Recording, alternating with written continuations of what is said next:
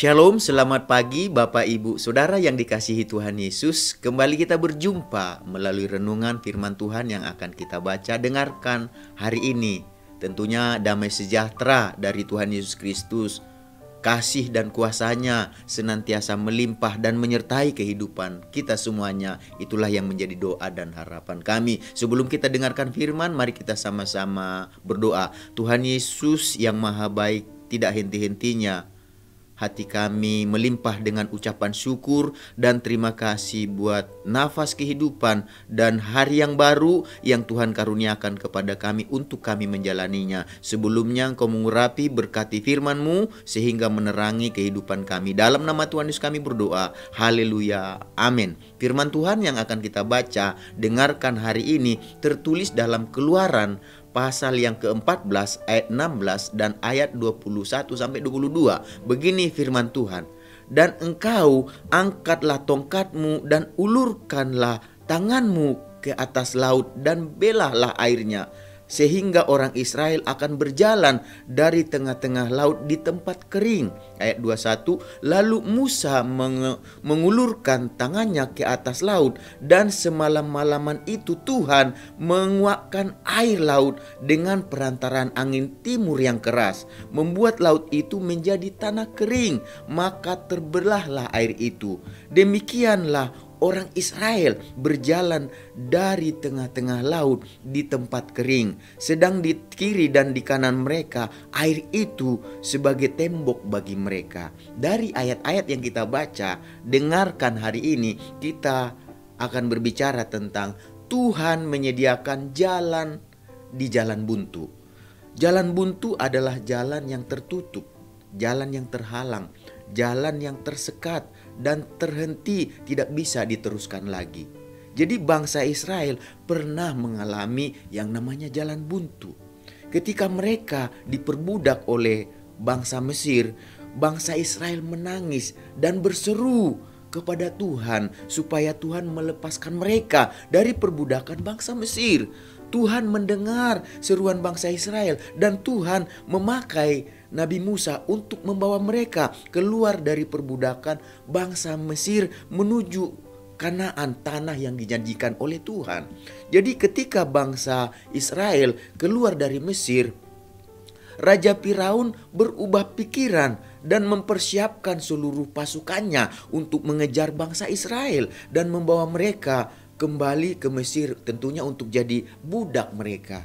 Jadi pasukan Firaun saat itu berhasil mengejar bangsa Israel dan hal itu membuat bangsa Israel sangat ketakutan. Mereka diperhadapkan dengan jalan buntu. Mereka tidak tahu mau lari ke mana. Karena pada saat itu di hadapan mereka ada lautan yang begitu luas. Bangsa Israel berseru kepada Tuhan dan mereka menyalahkan Musa. Kenapa Musa membawa mereka keluar dari Mesir dan berakhir mati di padang gurun? Musa saat itu berusaha menguatkan hati bangsa Israel karena mereka sangat ketakutan melihat bangsa Mesir yang datang mendekat mereka. Musa berkata saat itu kepada bangsa Israel, "Janganlah takut, berdirilah tetap dan lihatlah keselamatan dari Tuhan." Yang akan diberikannya hari ini kepadamu sebab orang Mesir yang kamu lihat hari ini tidak akan kamu lihat lagi untuk selama-lamanya Tuhan akan berperang untuk kamu dan kamu akan diam saja. Itu tertulis dalam Keluaran 14 ayat 13 sampai 14. Jadi di tengah ketakutan bangsa Israel, Tuhan berfirman dan memberi perintah kepada Musa supaya ia mengangkat tongkatnya dan mengulurkan tongkat tersebut ke atas air dan saat itu dikatakan untuk membelah air sehingga orang Israel saat itu berjalan dari tengah-tengah laut di tempat yang kering. Jadi laut pada saat itu waktu Musa diperintahkan Tuhan untuk mengarahkan tongkatnya ke laut, Lalu Musa pun mengulurkan tangannya ke atas laut. Dan semalam-malaman itu Tuhan menguakkan air laut dengan perantaraan angin timur yang keras sehingga membuat laut itu menjadi tanah yang kering. Maka terbelahlah air itu saat itu. Dan seluruh orang Israel berjalan dari tengah-tengah laut di tempat kering sedang di kiri dan di kanan mereka. Air itu sebagai tembok bagi mereka. Sungguh luar biasa. Tuhan yang kita puji Tuhan yang kita sembah Tuhan yang kita percaya. Dia yang dengar seruan kita dia yang dengar doa kita dia yang melihat kehidupan kita dia yang melihat air mata kita. Dan pada saat itu hal yang luar biasa terjadi hal yang dahsyat terjadi perkara besar terjadi, mujizat terjadi pada saat itu. Tuhan sanggup menyediakan jalan di tengah jalan yang buntu. Jadi Tuhan berkuasa untuk mengubah air laut menjadi jalan yang kering bagi bangsa Israel dan Tuhan mengubah air laut menjadi jalan keselamatan bagi bangsa Israel dan menjadi jalan kebinasaan bagi pasukan Firaun. Hal yang luar biasa terjadi, sesuatu yang terbalik terjadi.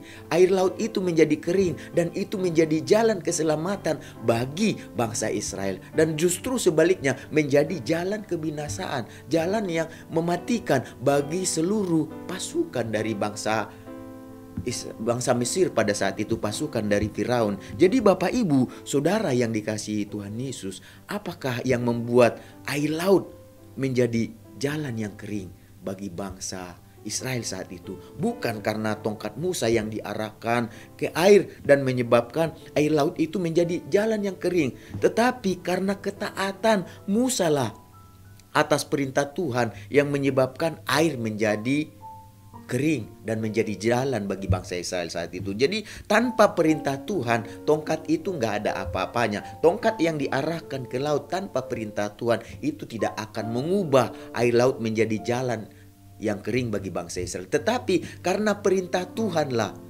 Tuhan katakan, arahkan tongkatmu. Perintahnya inilah, bukan tongkatnya. Perintah Tuhanlah atas tongkat yang diarahkan ke laut dan atas ketaatan daripada Musa yang menyebabkan air laut itu menjadi tanah yang kering dan menjadi jalan keselamatan bagi bangsa Israel pada saat itu. Jadi Bapak Ibu, Saudara yang dikasihi Tuhan Yesus, marilah kita belajar untuk senantiasa menaati segala perintah Tuhan, segala perkataan Tuhan, firman Tuhan. Mari kita dengarkan, lalu kita pegang, lalu kita taati. Karena dengan ketaatan akan perintah Tuhan akan menyediakan jalan bagi kita sekalipun di jalan yang buntu. Justru jalan yang disediakan Tuhan di jalan yang buntu akan menjadi jalan keselamatan bagi kehidupan kita. Adakah hal-hal dalam kehidupan kita yang kita sedang hadapi dan kita sekarang sedang merasa jalan itu sedang buntu, baik itu di dalam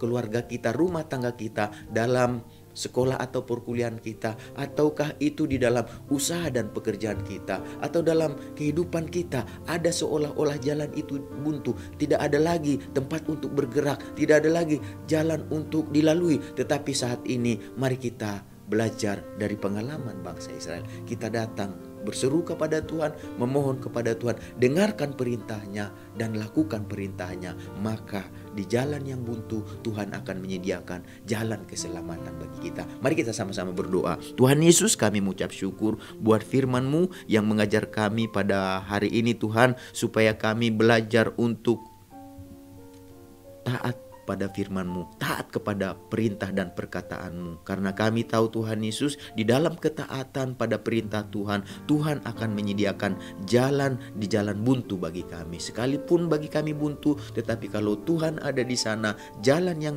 buntu Tuhan bisa buat jalan keselamatan, jalan yang mendatangkan kuasa, mendatangkan mujizat, mendatangkan perkara-perkara besar, perkara-perkara dahsyat dan ajaib bagi kami. Oleh sebab itu biarlah kami mengarahkan kehidupan kami kepada kepada perintahmu dan kami mau dituntun, dipimpin oleh perintahmu yang ada dalam firmanmu, dalam perkataanmu Tuhan Yesus. Terima kasih Tuhan, jadikan kami bukan hanya pendengar dan penyampai firman-Mu, tetapi kami pelaku firman-Mu. Terima kasih Tuhan Yesus, biarlah di sepanjang hari ini segala berkat yang terbaik yang Tuhan janjikan dalam firman-Mu, itulah yang menyertai kami. Dalam nama Tuhan Yesus kami berdoa. Haleluya. Amin. Selamat beraktivitas. Tuhan Yesus memberkati kita semuanya.